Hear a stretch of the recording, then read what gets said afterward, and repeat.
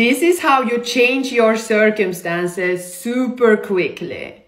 Now, I don't give a flying fuck about what circumstances you're currently facing because I know that you can turn them around just as quickly as they were created. Now, I want you to know that your circumstances don't have a mind of their own.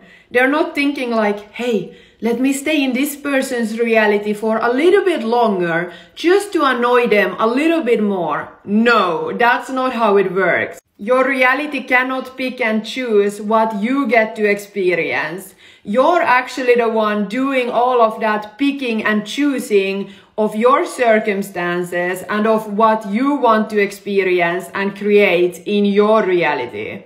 And you do this through your own belief system.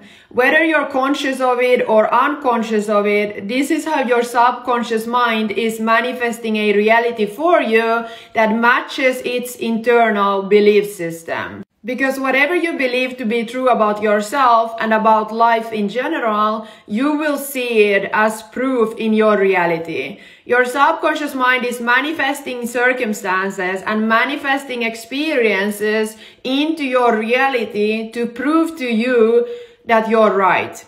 To prove to you that your belief system is correct. And this is how your reality and your circumstances, no matter how shitty they are, are really just subjective to you because they're a reflection of your own subconscious mind and of your own belief system. So when there's a circumstance in your reality that you want to change and you no longer want to see, first of all, take your power back by asking yourself, who is the version of me that created this circumstance in the first place?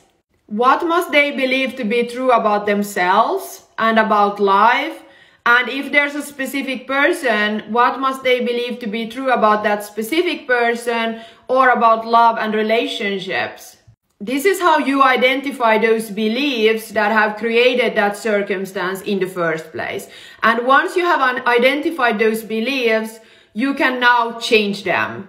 And when you change those beliefs, your circumstances will naturally change. It's a must. But so often what we do is we try to change our circumstances and control the things in our reality without changing ourselves, without actually looking within and doing this deep inner work.